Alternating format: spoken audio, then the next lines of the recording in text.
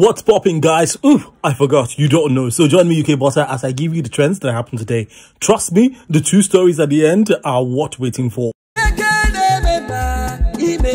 Starting the list of trends for today, Nigerian musician Kcee has revealed that Harry's song reportedly falsified his signature to defraud a client without his knowledge. In an interview, Kcee disclosed that his former label artist, Harry Song, took close to 3 million naira from his client without his consent. Kcee claimed that Harry Song falsified his and his brother's signature to defraud a client out of nearly 3 million naira. He stated that the matter was still with the police and that he could reactivate it. E-Money's brother also stated that Ayo Animashaun and Daddy Showkey were his witnesses since they attempted to mediate between the two parties and were upset with Harry Song's actions.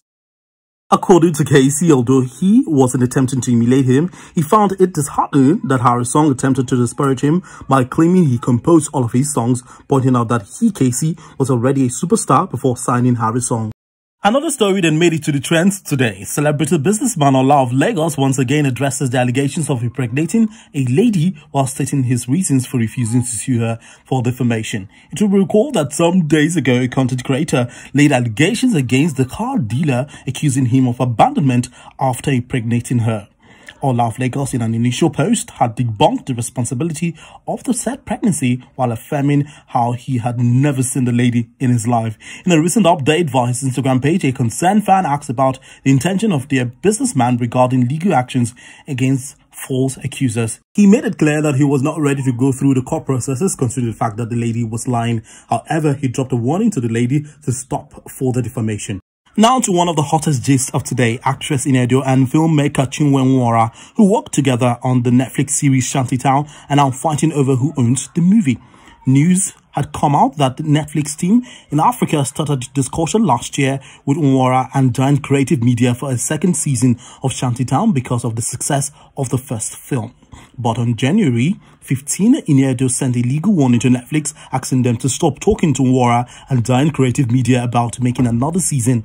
Ini Edo's lawsuit provides specific details arguing against Chinwe Nwora's exclusive right to the series Shantytown. Nwora has fired back at the claim made by Ini Edo's lawyers with a press release stating that she is the sole initiator and sole copyright holder of Shantytown and that the media should cease spreading false claims. According to the release, GCM implored the audience to ignore Ini Edo's claim of being the owner of the intellectual property in the Netflix original movie, further stating that Nwora is the sole initiator and sole copyright holder of Shantytown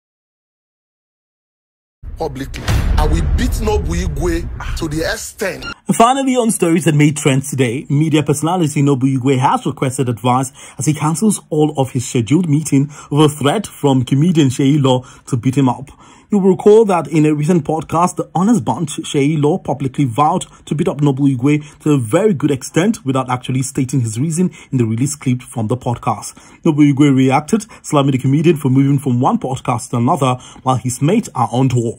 In a recent development, Noble Igwe has informed everybody with whom he has scheduled a meeting not to expect him to show up. He uploaded a video of himself lurking behind a tree and keeping an eye out for Seyi Law. He requested advice from his fans and followers as he revealed that he has been spending a lot of time in the gym and eating heavy meals in preparation for the comedian. There you have it for stories that made trends today. Do well to join me next time on the channel. Thanks for watching.